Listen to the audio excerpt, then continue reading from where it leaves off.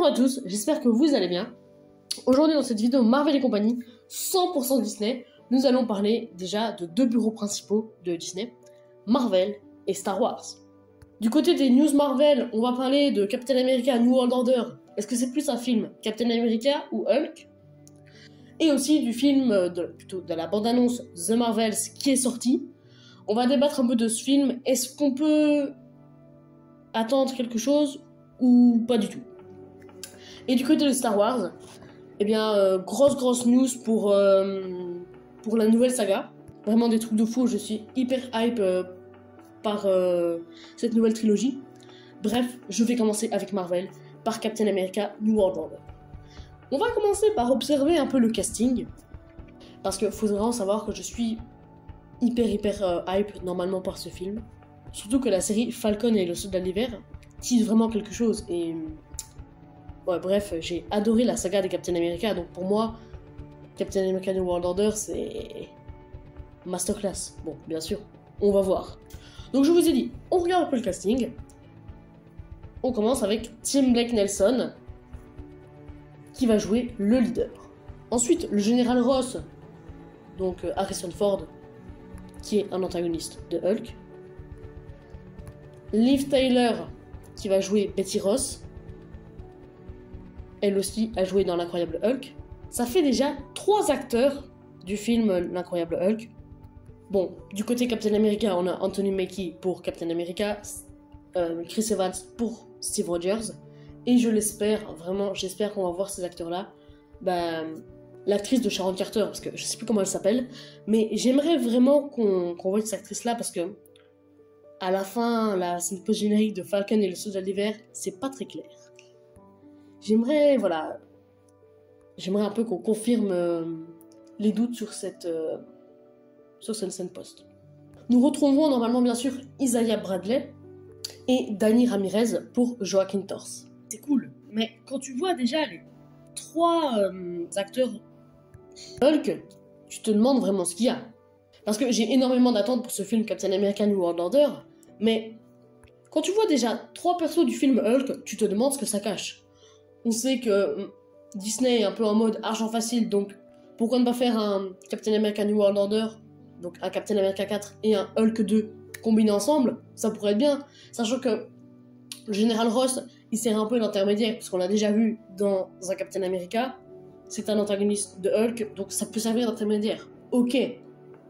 Mais après, ça peut quand même faire trop de Hulk, parce que si, enfin, il manque plus que Mark Ruffalo pour que la famille, euh, la famille des Hulk soit complète. Hein.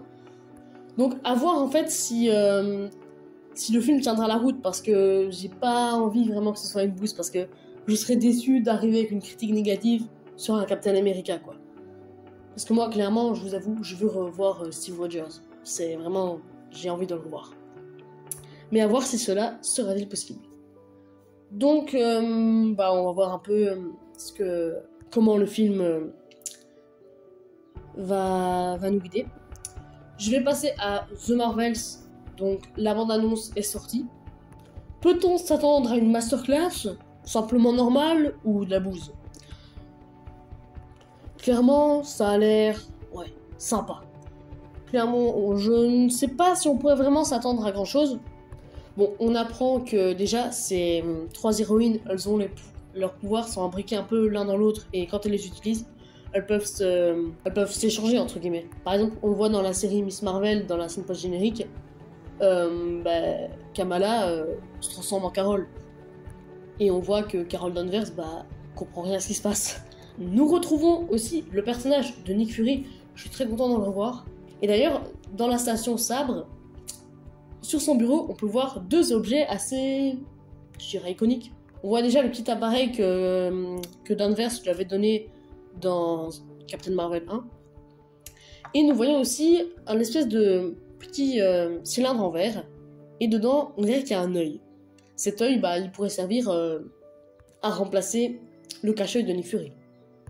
Mais voilà, enfin, il faut savoir que le film était normalement prévu pour l'été 2023, mais qu'il a été repoussé déjà en novembre 2023. Parce que maintenant, le but de Disney, c'est un peu d'espacer de plus en plus les, les dates de sortie des films. Mais voilà, bande-annonce euh, sympathique, rien de très... Je pense que ça pourrait être un bon film, maintenant à voir quoi. Et le point positif là-dedans, c'est que nous avons la première équipe féminine. 100% féminine. Puis elles ont l'air de former vraiment un bon trio toutes les trois. Donc vraiment à voir, à voir. Voilà, maintenant je vais enchaîner avec Star Wars. Et là vraiment, je suis mais hype de fou pour cette nouvelle trilogie. Alors il y a vraiment des grosses news dans le sens, Rey va reprendre son rôle, enfin Daisy Ridley va reprendre le rôle de Rey pour cette trilogie. Et on sait déjà que le premier épisode se déroulera 15 ans après Star Wars épisode 9, l'ascension de Skywalker. Alors on sera dans une période un peu désorganisée, où euh, Rey va essayer justement de reformer l'ordre Jedi, c'était cousu d'avance, grâce au texte de Luke. Alors attention, parce que Star Wars c'est quand même un gros phénomène, c'est vraiment une saga à prendre avec des pincettes, dans le sens où on fait pas euh, un an après, hop, on refait un Star Wars, par exemple par trilogie, hein, je veux dire, hop, on a fait une trilogie, hop, euh, un an après on fait une... Voilà, non. D'ailleurs là, au plus tôt c'est fin 2025, donc vraiment il y a de la marge. Mais moi, de ce que je vois là, ils ont l'air d'avoir une bonne idée, et ça, ça me plaît bien. Alors aussi, euh, les fans veulent revoir le personnage de Ben Solo. Moi, je vais vous avouer, Ben Solo, je le porte pas tellement dans mon cœur. Enfin, si, on va pas se mentir, à la fin de l'ascension de Skywalker, il a géré. Vraiment, il a géré. Mais bon, le baiser à la fin entre les deux, c'est un peu mal passé. Bon, oui, c'était euh, c'était calculé, bien sûr. Mais bon, moi, j'étais plus fine. Dites-moi en commentaire d'ailleurs ce que vous en pensez, si vous êtes plus euh, Ray Ben ou Ray Finn. Et vraiment, dans, cette, dans la saga Star Wars, c'est vraiment une saga où j'ai tout kiffé. Tous les films. Sauf peut-être, sauf peut-être, bien entendu, Star Wars Les Derniers Jedi. Ouais, non, on va dire vraiment, pour moi, c'est la bouse ce film. Alors, ce que j'ai pas compris, c'est que dans Star Wars, le réveil de la Force, tu vois que Ray et Finn sont vraiment bah, soudés et tout. Ils ont une très grande amitié qui est en train de se forger. Et là, il commence à. Ryan Johnson, il les sépare et il arrive avec Rose. Rose Tico. Et il commence une relation amoureuse entre les deux. Non Surtout pas C'était n'importe quoi Je sais pas, mais Finn, moi, au premier abord, il est amoureux de Ray, à gueuler Ray, Ray, Ray Dans Star Wars Ascension Skywalker, il fait que ça Ray, Ray Il est profondément épris d'elle, mais il l'a confirmé lui-même, il n'est pas amoureux. C'est vraiment qu'il a un, attachement très spécial avec elle. Et moi, j'aime bien, ils sont, ils sont vraiment très soudés les deux. Mais heureusement, Gigi Abrams a stoppé la relation amoureuse de Finn et Rose, donc ça, j'ai trouvé ça cool. Et puis, euh, Rostico, le personnage de Rostico, je le préfère vraiment dans Star Wars Ascension de Skywalker.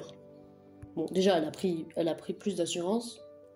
Et donc, moi, ce que j'aimerais voir dans les nouveaux Star Wars, c'est que un des élèves de Rey, je veux que ce soit Finn. Parce que on sait que Finn est sensible à la force. Déjà, dans le réveil de la force, on voit qu'il c'est déjà il a un instinct inné pour manier le sabre laser. C'est donc voilà. Et encore une dernière chose, euh, Daisy Ridley s'est souvent fait critiquer pour son rôle de Rey. Parce que voilà, en général, les fans ne sont pas très fans de Rey. Moi perso, je la kiffe. Après, c'est compréhensible.